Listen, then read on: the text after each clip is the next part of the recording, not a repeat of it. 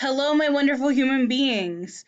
Um, if you were in class, then you already have the orange paper. If you were not in class, then you have um, the document in Teams. So it's the compare and contrast. This is a Venn diagram. We're going to be looking at the hierarchies of ancient China versus India that we already know about.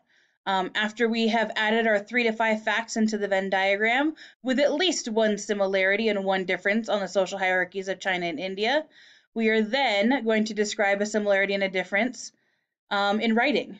Okay? So let's actually uh, go back and learn the differences and similarities. So, like I said, our objective is I can compare the social hierarchy of China to India by completing a Venn diagram and writing a paragraph. Um, we're going to skip that. So, just gentle, loving reminder in India, they had the caste system for their social hierarchy and still do. Um, do you mind? Thank you. At the top of the caste were the Brahmins, are the Brahmins. That's um, priest, edu- priests, educators, intellectuals are at the very top of the top. And then the, the Kshatriyas, um, these were the kings and the rulers and the warrior class. Then we have the Vaisyas, who were the merchants, the craftsmen, the landowners, and the skilled workers. And then at the bottom of their social pyramid, they have the Sudra. These are the farmers, the unskilled laborers, the servants. And remember, back in India, they had the caste or the um, the untouchables was not legally technically part of the caste system. However, it was kind of like the part that no one talked about. Um, so these were the people who were the street sweepers, the people who would clean up clean up after human and animal waste, people who would deal with the dead. These are literally out of the caste. Do you get outcast? Do you get that connection? Because it's the caste system. Yeah? Huh? Huh? Huh? Hey, making connections. However, in China, the positions within the hierarchy were assigned to people from birth based on their parents' position. Now, remember in India, they were um, people's positions were assigned at birth based on their past life. hey, look, there's a similarity that you can write down that a position was social position was assigned at birth. But wait a minute, is that a similarity or is it a difference? You're right, it is a difference because in India, the birth was based on a person's past life versus in China, the birth was the birth um, where they're assigned at birth is based on their parents' position. Everyone was expected to perform the duties of their assigned class, just like in India. However, there were opportunities to move up in class based on wealth. Could they do that in India? No, so that would be a difference. So let's talk about the actual the caste in or not the caste, the social hierarchy in China. At the very tippy top was the emperor. He was the leader of the country and the head of the imperial family, so the royal family. He owned most of the land and the wealth. Soldiers and nobles were appointed by the emperor, so the emperor got to choose who would be noble and who would the soldiers be. The next step down is the Shi. These were nobles and scholars.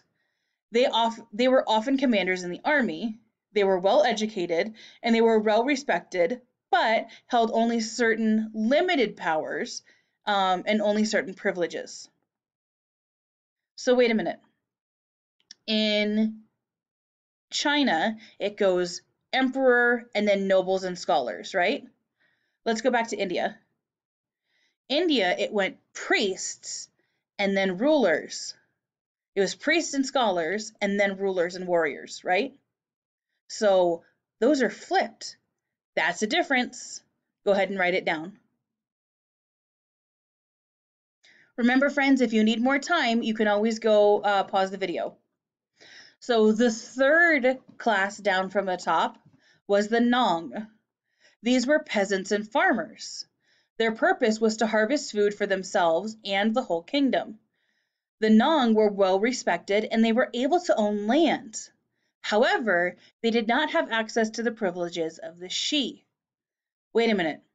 Farmers were in the middle top, like upper middle class. That's really different than it was in India, right? In India, in India, the lowest class was the farmers, versus in China, they're the third class from the top. They're straight up middle class. Huh? They're way more respected in farmers are way more respected in China than they were in India. There's a difference. The next class was the gong. These were craftsmen and potters er, and inventors. These are people who created. They developed goods and merchandise for the higher classes, meaning the shi and the emperor. The gong were not respected. They had limited rights and limited privileges. They were not able to own land, but they were allowed to rent. They often had a lot of money. So you can see that in this um, ancient Chinese society, hey, society, it's one of our vocabulary words, in this ancient Chinese society, it's not necessarily based on how much money someone has, because the gong often had a lot of money. However, they were creating things that were nice to have. It's nice to have pots and, and things. It's nice to have jewelry. But is it necessary to live? No. The class above them, the Nong, the farmers, would, is what they created, what they harvested, necessary to live? So that's why they were higher than the Gong class and the creator class. Then, towards the bottom of the social hierarchy of China, we have the Shang. This is the second from the bottom. The Shang were merchants and traders and shopkeepers and bankers. They transported and traded goods. And because of that, because they worked with money, they were very wealthy. Now, in American society, we would think, well, if they make all of the money, then of course they're going to be at the top of the social hierarchy. But not in China. In China, they were not allowed to own land, they had no privileges, and they were not respected. Sometimes, though, sometimes, rarely, but it did happen, they were able to make enough money to climb the social hierarchy. And it wasn't just because they had money, it was because they had money and were able to do something with it. So they had earned and made enough money to be able to um, go to school. And then they were no longer merchants and traders, they were scholars. How is that different from India, though? Why, yes, Casper. In India, the merchants and craftsmen and traders were in the middle class versus the Sheng, the merchants and traders and bankers, were in the lower classes. Good contrast. Thank you, Casper. And then, as is so often in the bot in social hierarchies, the bottom lowest layer is the ensla- pe- people who are enslaved. Um, they were the lowest class in the hierarchy. They worked in the fields. They planted and harvested crops for their owners. So the farmers are out there working, but if their farm was big enough, then they had enslaved people working for them. Enslaved people had no rights, they were poorly fed, and they were usually never able to climb that social hierarchy. So, what I need you to do now, my wonderful human beings, is I need you to finish filling out your Venn diagram. Try and challenge yourself. I know the directions say uh, five to eight or something like that, but try and come up with at least three similarities, because we talked about quite a few, and four differences for each circle. Okay?